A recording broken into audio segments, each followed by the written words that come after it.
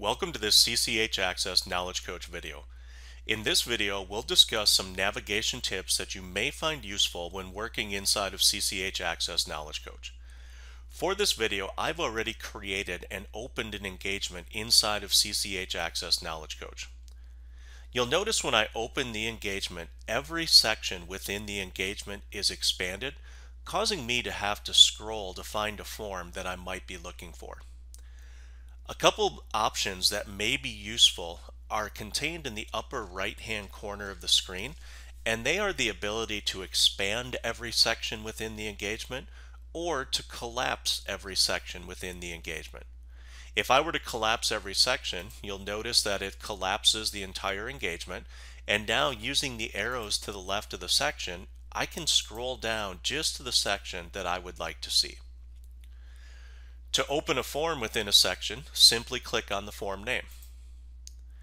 When the form opens at the top of the screen, you'll see a breadcrumb showing you the name of the client, the name of the engagement, as well as the form that you're currently looking at. To get back to your engagement with all your forms, simply click on the engagement name link and it'll take you back to where you started. An alternative to clicking the form name is to right click on the form name and select the option to open the link in a new tab. You'll notice what this does is it now will open that form in a new browser tab at the top of your screen. This makes it very easy to move back and forth between the form and the engagement itself just by selecting the different tabs and also allows for you to use multiple monitor functionality by simply clicking and dragging this tab to a different monitor if you needed to.